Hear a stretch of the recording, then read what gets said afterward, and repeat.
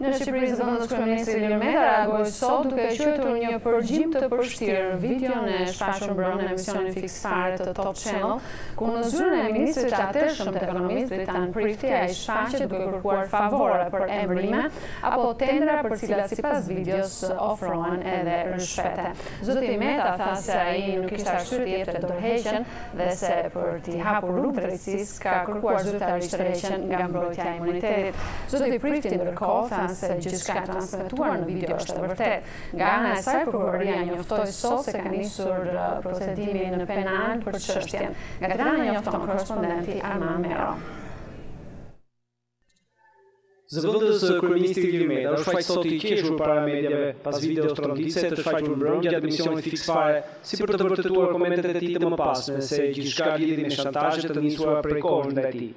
Ky përgjim, i pështirë si vetë organizatorët dhe trumbetuesit e tij, Është kryekëput një bllof i shëmtuar politik dhe moral, i cili është bërë në kuadër të shantazheve nga krimi i organizuar ndaj personit tim për shkak të detyrave të mia e sidomos të asaj si kryetar i Lëvizjes Socialiste për Integrim, një forcë e rëndësishme dhe përcaktuese e Koalicionit për Integrim. Zoti Meta deklaroi se ai ishte i hapur për hetime dhe se sot kishte kërkuar zyrtarisht Parlamentit që atij të mos i njihej imuniteti si mburojë. Për zëvendës kryeministrin nuk është rasti që ai të jepte dorëheqjen. Unë do ta jap dorëheqjen. E kam premtuar. Por, në njëzet e tetë qershor të dy mijë e trembëdhjetës, Në videon e transmetuar, zoti Meta, në atë kohë ministër i Jashtëm, ndërhyn me tone të forta ndaj ministrit të atëhershëm të Ekonomisë Dritan Prifti për emërime personash, por dhe favorizime për tendera. Por zoti Meta shpjegoi se ndërhyrja e tij lidhej vetëm me faktin se ndaj kompanisë që kërkonte të merrte pjesë në garë për një hidrocentral ishin zvarritur praktikat padrejtësisht, siç tha ai.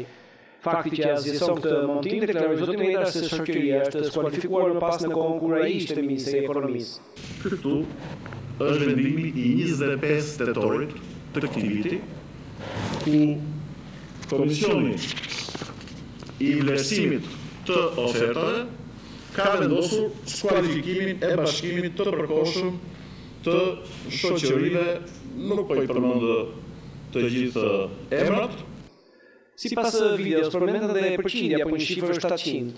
Zoti Meta tha se sipas përfaqësuesit të shoqërisë, shtatëqind mijë euro ishte dëmi që ishte krijuar nga vonesat.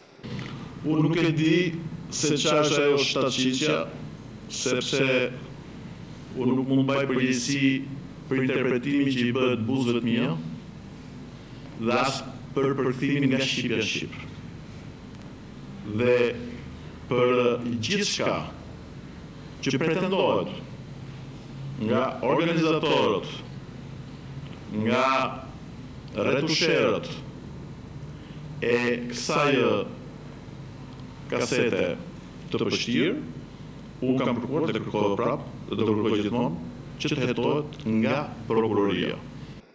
Nga ana e saj, Prokuroria njoftoi se ka nisur procedimin penal për veprat penale të korrupsionit pasiv dhe korrupsionit aktiv të funksionarëve shtetërorë si dhe veprën penale të shpërdorimit të detyrës ndërsa do të sekuestrojë dhe kasetën filmike të shfaqur nga Fiks Fare.